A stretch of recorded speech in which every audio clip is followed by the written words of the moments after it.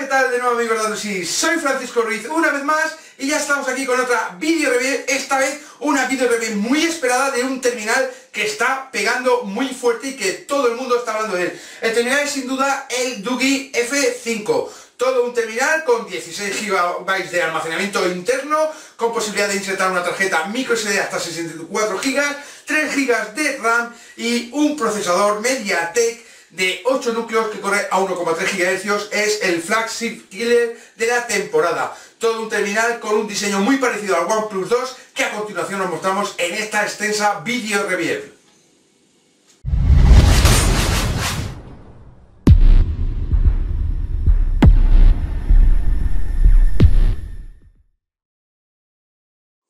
Pues bien, vamos a comenzar lógicamente esta de review del F5 con el desempaquetado del Dugi F5. Como podéis ver aquí, contamos con el terminal eh, completamente acabado en metal y con un diseño espectacular. Ya os digo que os va a emocionar nada más abrir la caja y ver el pedazo terminal que eh, ha fabricado Dugi. Nos viene con este protector de trasera o funda trasera de plástico que la verdad a mí no me acaba de gustar demasiado. Yo nunca he usado uno de estos y lógicamente aquí tenemos el cable USB y el cargador europeo. Eh, si levantamos por aquí a ver si puedo levantarlo bien. Contamos con este apartado donde tenemos el pincho para poder acceder a las tarjetas de memoria y la tarjeta micro SD que como veis aquí nos viene con un adaptador incluso. Aquí nos viene con un protector de pantalla y una toallita. Y bueno aquí con el libreto de las instrucciones y la garantía del terminal. Pues bien, como siempre vamos a comenzar echando un vistazo exterior al diseño de este Dugi F5. Un sensacional terminal que nos llega con acabados en cuerpo de metal. Un acabado en cuerpo de metal que la verdad sienta muy bien al, a mano, tanto como en medida como en materiales de construcción. Aunque tener en cuenta que eh, pese su aspecto plateado en su parte trasera, que no nos engañe que su tapa trasera sigue siendo de plástico, aunque sí, esta vez su cuerpo es de un acabado en metal de gran calidad. Bien, como podéis ver, es un terminal considerado un terminal grande, y más si contamos que a sus 5,5 pulgadas de pantalla eh, IPS con resolución Full HD podemos contar que hay que añadirle el espacio eh, de este dedo de los botones eh, virtuales, unos botones capacitivos que están en la parte de abajo del terminal y los cuales nos van a dar una utilidad de pantalla, una pantalla de 5,5 pulgadas reales, ya que otros terminales, aun teniendo pantalla 5,5, incluyes los botones virtuales en la pantalla y esto nos resta de pantalla útil. Bien, en cuanto a las medidas del terminal, ya os digo que es un terminal bastante grande. Es un terminal que cuenta con 15,23 centímetros de largo por 7,69 centímetros de ancho y 78 milímetros de grosor. Como veis es un terminal eh, bastante delgadito y eh, bastante llevadero pese a ser un terminal considerado phablet o considerado grande. Tan solo pesa con 171 gramos de peso que está por debajo de otros terminales del estilo de las 5,5 pulgadas o eh, llamados phablet. lo dicho, es un terminal que cuenta con 3 GB de memoria RAM y un procesador octa-core de MediaTek 6753 con tecnología 64 bits y Android 5.1 también habilitado en 64 bits. Eh, cuenta con conectividad Wi-Fi, OTG, Bluetooth 4.0 y esta versión es la de almacenamiento de 16 GB de almacenamiento interno, pero también incluye eh, para tarjetas micro SD de hasta 64 GB y cuenta con 3 GB de RAM. Eh, lo dicho, en la parte frontal contamos con la cámara delantera, de 5 megapíxeles fabricada por Samsung que después veréis como es muy muy buena la cámara cuenta con el LED de notificaciones y los botones virtuales. Si lo miramos por debajo tan solo contamos con los altavoces es un altavoz mono y la conexión micro USB un micro USB normal. No es el micro USB tipo C ni nada por el estilo.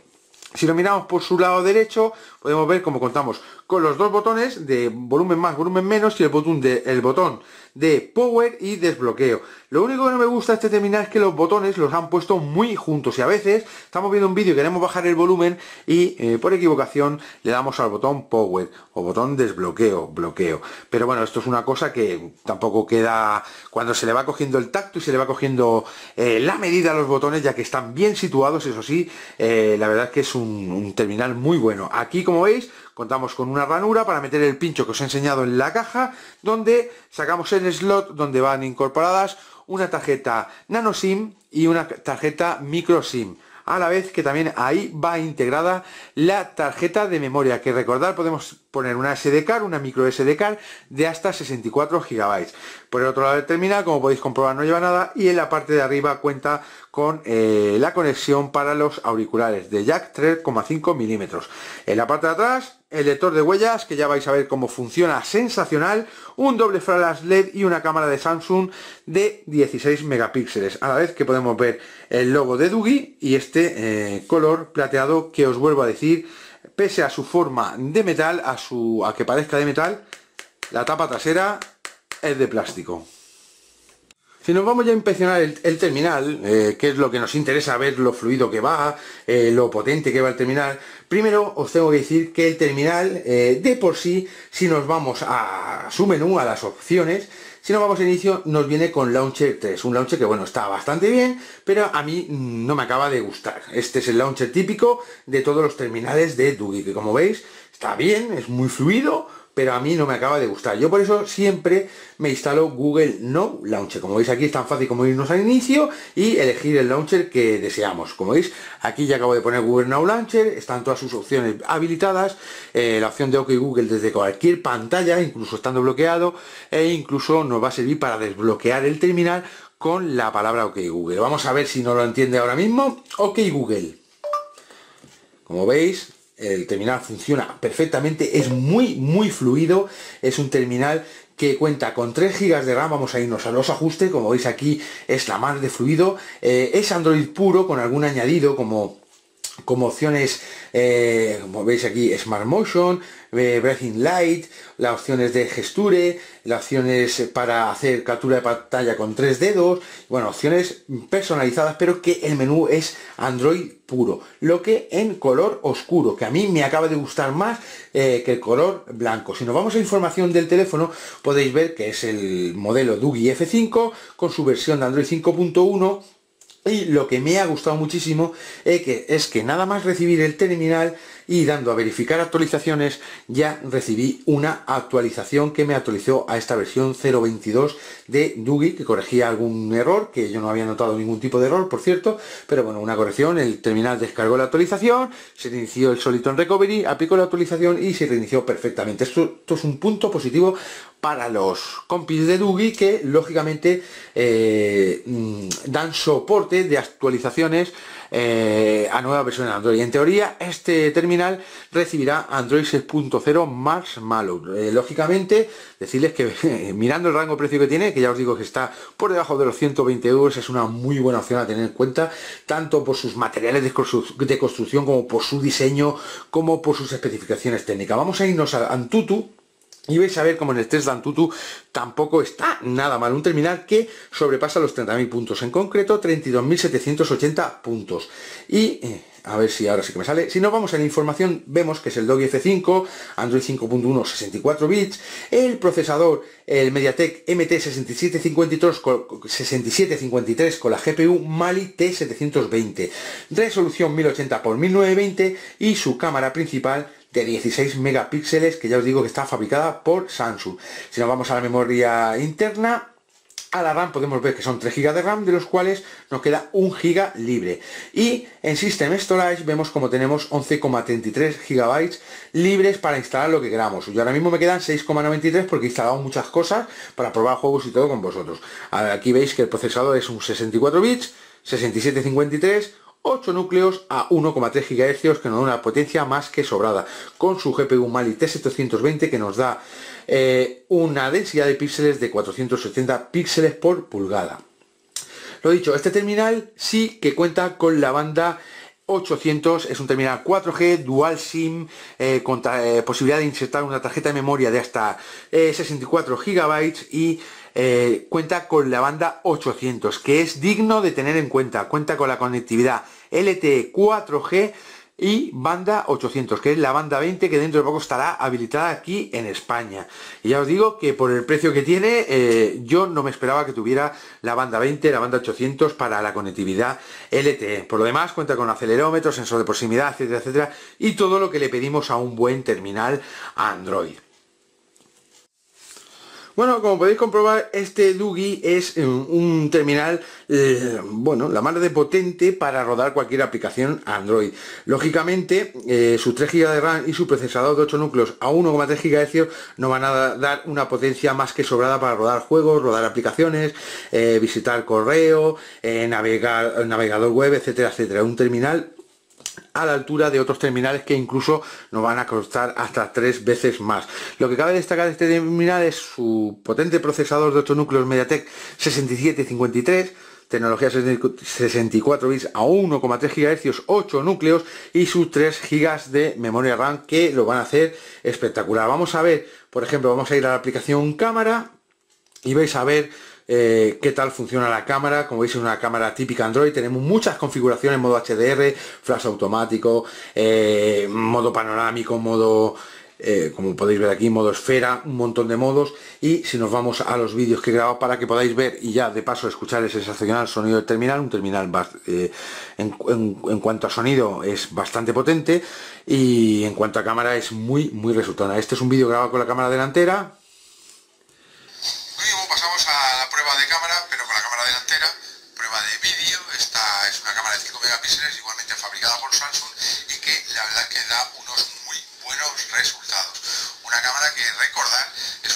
que está por debajo de los 120 euros y nos ofrecen muy buenas especificaciones técnicas como su 3 GB de RAM y un procesador de 8 núcleos a 1,3 GHz. Las cámaras no es unas cámaras lógicamente para tirar cohetes, ni mucho menos, pero es unas cámaras fabricadas por Samsung que la verdad dan muy, pero que muy buenos resultados.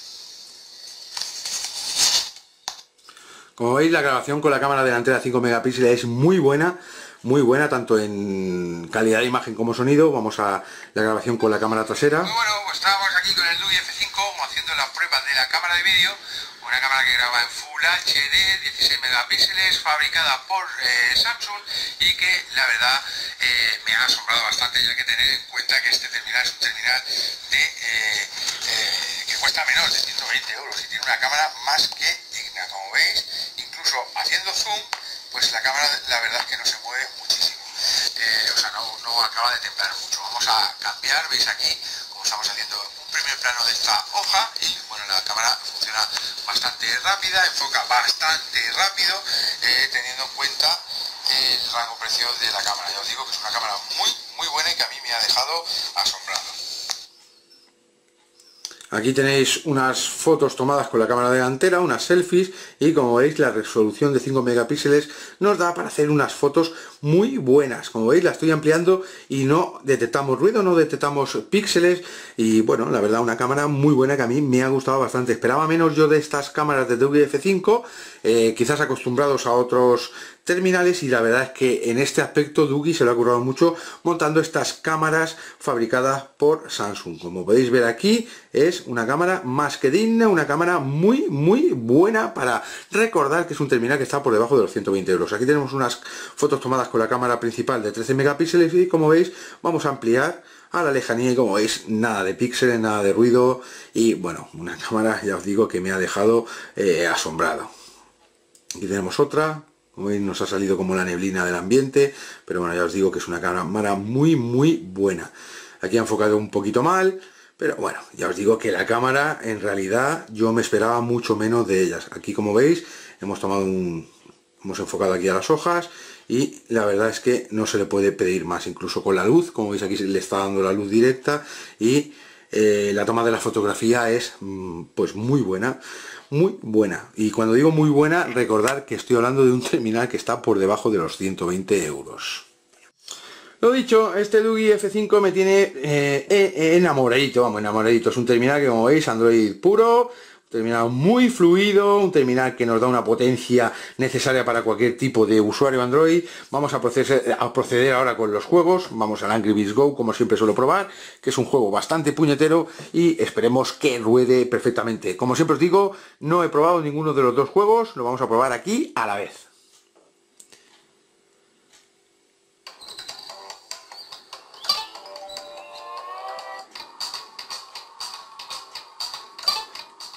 Sonido, lo tenemos a tope.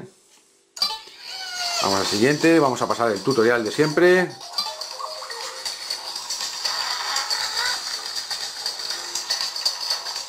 Como veis, el sensor funciona perfectamente, el acelerómetro. El juego no causa ni tirones, ni lag, ni en su aspecto de gráficos, ni en la música ya que me he encontrado otros terminales que en gráficos ha sido muy bueno, pero por ejemplo el sonido ha pegado eh, encontronazos, ha pegado lag. Aquí como veis eh, funciona perfectamente. Vamos a continuar con la segunda parte del tutorial de Angry Birds, donde vamos a probar el turbo. Como veis no se aprecia ningún tipo de lag de ningún sentido. Cuidado, no te choques. La verdad que es una experiencia muy agradable de juego. A la vez que tener en cuenta que es un terminal grande, un terminal con una pantalla excepcional, 5,5 pulgadas, Full HD, IPS. Si te gustan los terminales tipo Fable, ten en cuenta que no vas a tener que pagar 600, 700, 800 euros para disfrutar de un terminal potente. Como podéis ver aquí, este DVF5 la verdad es que está rompiendo. Lógicamente es un terminal que está en boca de todo el mundo porque nos ofrece lo que nos ofrece terminales de muchísimo más dinero, de muchísimo más precio, a un precio más que ajustado, un precio prácticamente imbatible diría yo. Como veis aquí, podemos jugar perfectamente al Angry Birds Go, que en otros terminales me ha dado más que, más que problemas. Y aquí podemos jugar perfectamente. Habéis podido notar que a lo mejor hemos notado un, un poquitín de lag en el sonido. Pero bueno, nada de mencionar. Vamos a pillar el turbo este. Vamos a pillar el otro. Vamos, cuidado, no te choques ahora, hombre. Ahí se ha notado lag pero lag en el sonido, no en la imagen, ¿lo habéis visto? y bueno, vamos a llegar en segunda posición. Lo voy a dejar voy a apretar el botón home para dejarlo en multitarea. Lo vamos a dejar en segundo plano.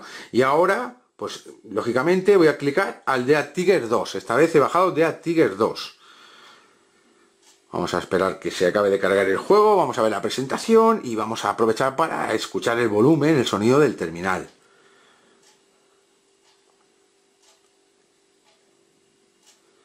ten en cuenta que esto es normal ¿eh? la primera carga del juego. Vamos a darle a jugar.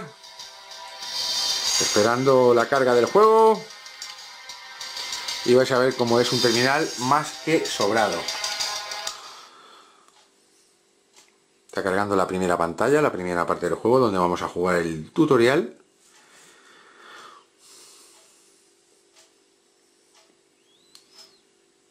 Decirles que aunque eh, le he dado mucha caña al terminal sí, lógicamente ha habido momentos que se ha calentado un poquito pero nada que ver con otros terminales como por ejemplo el LG G3 que se ponía ardiendo, el OnePlus 2 que también se calienta bastante, terminal que sí que lógicamente su, su acabado en metal vamos a notar más el calor cuando el terminal estamos dando mucha caña, pero no se calienta ni la mitad que otros terminales. Como veis aquí, el juego fluido, gráficos excepcionales, una pantalla de, vamos, de muerte, 5,5 pulgadas IPS, Full HD, Vamos para allá, vamos a buscar lo que...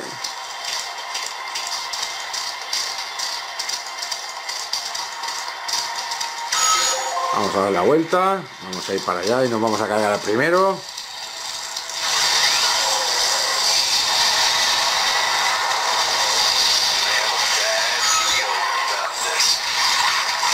Toma, hala.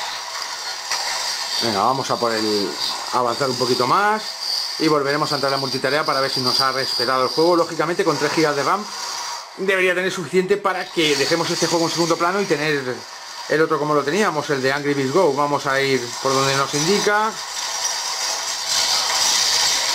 Bueno, voy a darle al botón Home. Ahora en teoría está en segundo plano. Si mantengo presionado entro a la multitarea y como veis no hay ningún problema para hacer un cambio entre ambos juegos ya que sus 3 GB de RAM es más que suficiente. Pero más que suficiente para estar jugando a dos juegos a la vez. No le veo lógica ninguna pero bueno que sepáis que se puede hacer.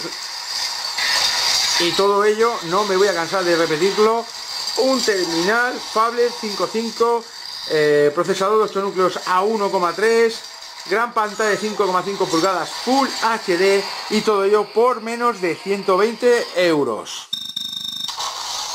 Bien, vamos a acabar esta prueba, como siempre, vamos a entrar al canal de YouTube de Android 6 y para la gente que le gusta ver películas, que le gusta disfrutar de contenido multimedia, pues para que veáis su eh, qué tal rueda el terminal, pues mostrando un vídeo del canal de Android 6 donde vais a poder la calidad que se muestra el vídeo y vais a poder escuchar el sonido del terminal.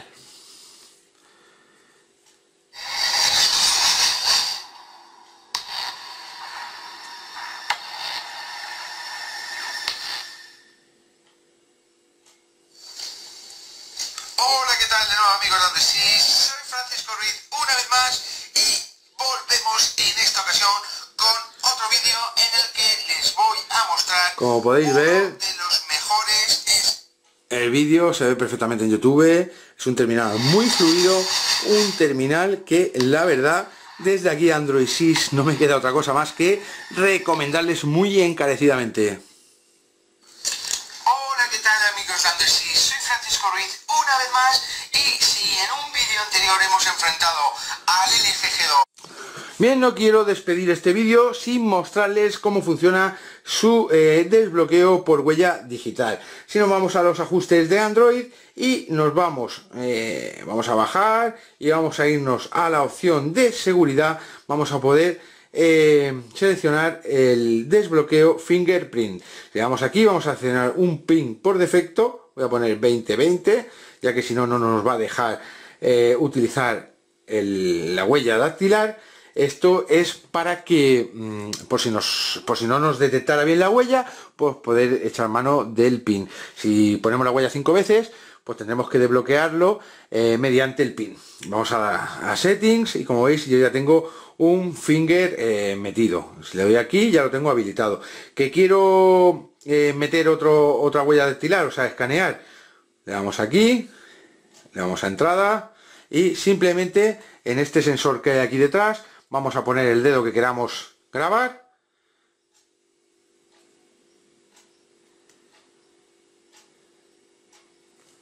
A ver si me deja.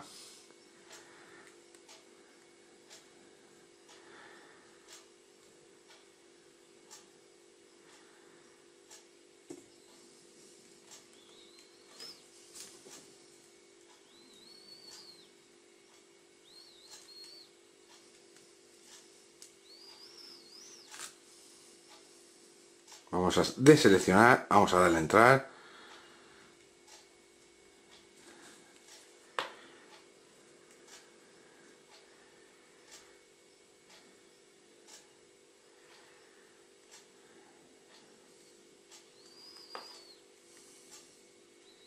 Como veis, acabo de, acaba de detectar la primera, separamos la huella y la volvemos a poner, separamos y volvemos a poner, separamos y volvemos a poner. Esto es para que reconozca la huella. Separamos y volvemos a poner.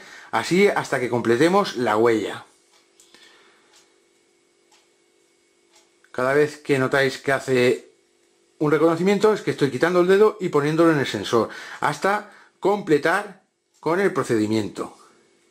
Ya está puesta. Ahora simplemente se ha habilitado el finger 1. Si me voy para atrás, y me voy a bloqueo de pantalla, ya lo tenemos en fingerprint. Ahora simplemente bloqueo la pantalla y si quiero desbloquear voy a utilizar el doble toque, que para eso lo tiene, y ahora simplemente al poner la huella, como, veis, como habéis visto, ya me ha desbloqueado la pantalla. Muy rápido y muy funcional. Vamos a hacerlo de nuevo. Como veis, acabo de poner el dedo en la pantalla y rápidamente me ha detectado la huella y me lo ha desbloqueado. Vamos a hacerlo una vez más para que lo veáis. Incluso debería funcionar con la pantalla bloqueada. Simplemente pongo la huella y lo desbloquea prácticamente en 0,03 segundos, en milésimas de segundo. Ya os digo que una funcionalidad de Dugi que eh, de verdad me ha gustado muchísimo este lector de huellas en su parte trasera. Hasta ahora solo me habían convencido los, los lectores de huella digital que venían en el botón Home, ya que eran bastante rápidos. Pero este Dugi F5 con su lector en la parte de atrás, como podéis ver, eh, se ha superado, ya que rápidamente al poner la huella, como veis, de seguida nos detecta la huella y desbloquea el terminal.